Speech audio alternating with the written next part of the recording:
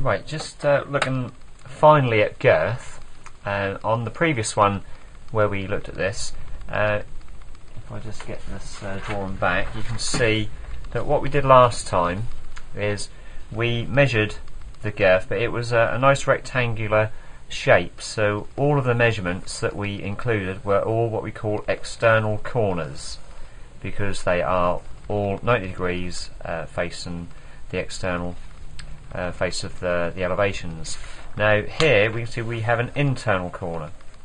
So I just want to show what that does to a girth calculation.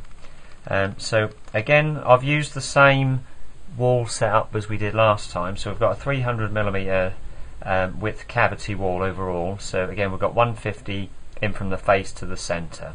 Okay, so when we do these, if I just um, I'll letter these ones up this time. I'm going to call this A, this B, this one C, this one D, this one E, and this one F.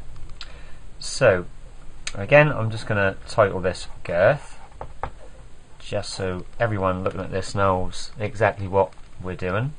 So, trench A equals, well, put this in still in millimeters because I'm not putting into the calculator just yet. So we've got, as shown on the drawing, 14,500, which is 14 and a half meters.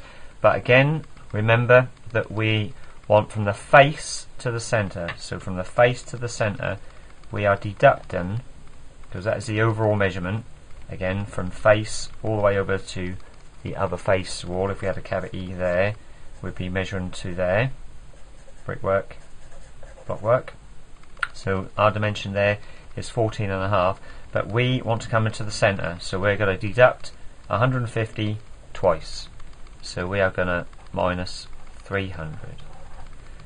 B, again the same, external corners, so we're going to have 13,300 minus 300. C, two external corners, we're going to have 7 500 minus 300. D is an internal corner. Now with an internal corner, you can see here, if we deduct this 150, there we've got to add 150 to get to the centre. So in effect, all we're doing is just shifting that move uh, measurement in this way and in that way, but they're both moving the same. So we can keep these figures, because again, we've got an internal corner on DE here, where this dimension we want to move in 150 to get to the centre, but here we have to move in the other way to get to the centre. So we're, again, we're just shifting the whole thing across. So these two dimensions don't alter.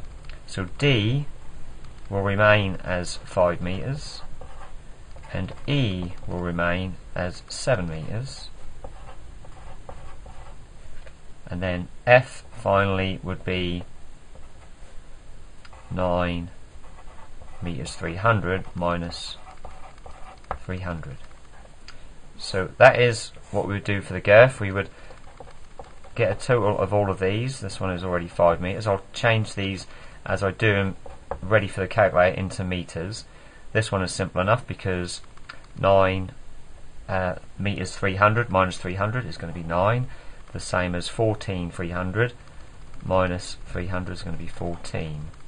Uh, and this one will be simple enough because all we're going to do there is 7 meters 500 minus 300 is going to be 7.2 and 14 500 minus, uh, 300 is going to be 14.2. So when we get the total girth of this one,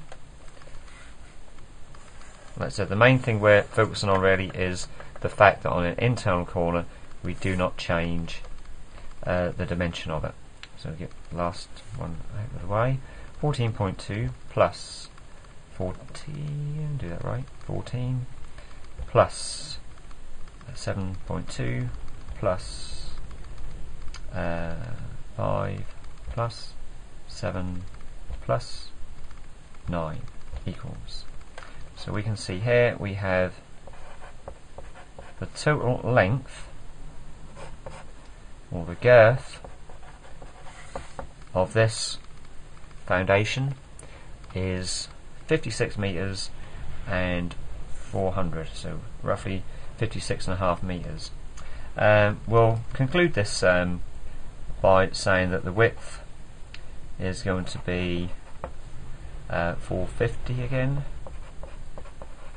And we're going to have the depth um, we're going to say we're going to be in clay soils. So this one we're going to have uh, a good depth of 1.2 1.2 meters which is just a little bit over the minimum depth for clay soils.